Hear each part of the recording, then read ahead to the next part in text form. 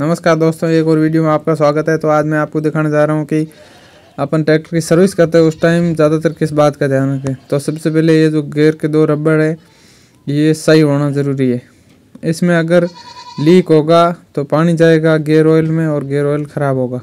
हमेशा से ध्यान रखें, गेयर ऑयल ज़्यादातर किस वजह से ख़राब होता है? इसी वजह से। एक और ये ब्रेक वाला रबड़ ये सही होना चाहिए, क्योंकि ब्रेक में पानी जाएगा तो ये नए मॉडल प्लेटें आती है, वो जाम हो जाएगी और ब्रेक मिस्टेक हो जाएगा।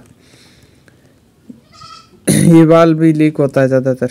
और दूसरी बात है सेलअप की तो सेलअप पे ये जो रिंग आती है, यहाँ पे लीक हो जाती है और उसके बाद में जो सलब जलने की प्रॉब्लम वो यहीं से आती है। पानी अंदर जाता है और जंक लग के ये प्रॉब्लम स्टार्ट हो जाती है सलब जलने की और सलब अटकने की। उसके बाद हम बात कर लेते हैं ऑल्टीनेटर की। ऑल्टीनेटर पे आप या तो पॉलीथीन लगा के ही ट्रैक्टर की सर्विस किया करो, ढक के, नहीं तो फिर आपको ये करना है कि सर्विस होने के बाद में आधा घंटा या बीस मिनट, आधा घंटा, एक घंटा तक ट्रैक्टर को स्टार्ट नहीं करना है। और बात करते हैं बोनट खोल के सर्विस करो तो अंदर फ्यूज़ की डब्बी है, उस पर भी पॉलीथीन लगा के ही सर्विस करें। नहीं तो फ्यूज़ शॉर्ट होते हैं और फ्यूज़ जलने की आशंका रहती है। हमेशा से इन बातों का ध्यान रखें और बोनट की सफ़ाई करते टाइम या सर्विस करते टाइम थोड़ा बहुत वायरिंग का भी ध्यान रखें। और ट्रैक्टर स्टार्ट ना करें तो सूखने दें, उसके बाद में स्टार्ट करें। और इस नट का भी ध्यान रखें, जो ये कोक है इसका।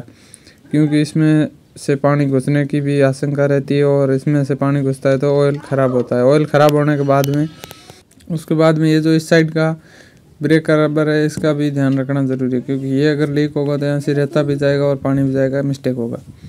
और नेक्स्ट बात करते हैं, इस वाले ये पीछे जो लिंक का लगती है ये रबर ये भी लीक नहीं होना चाहिए। यहाँ से लीक होगा तो यहाँ से पानी सीधा ऑयल के अंदर जाएगा और ऑयल के अंदर जाएगा तो ऑयल मिस्टेक होगा। हमेशा से ये ध्यान रखें, विशेष करके। और जहाँ भी ये रबर के लोग लगे हुए उनकी ध्यान ज़रूर रखें, अवश्य करके।